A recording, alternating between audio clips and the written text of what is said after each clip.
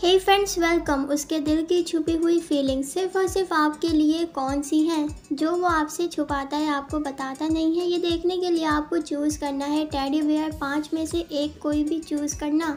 Answer की तरफ़ बढ़ते हैं आपके। अगर कोई टॉपिक है तो आप कमेंट कर देना। फ़र्स्ट वाले टेडी बेयर का आंसर है आपका ये। उसके दिल में ये विश है। ये बात है कि आप उसको प्रपोज करो। वो ये चाहता है कि आपका प्रपोजल मिले उसे।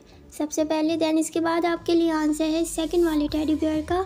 जिसने भी चूज़ करा है, देखते हैं इसमें क्या लिखा है आपके लिए।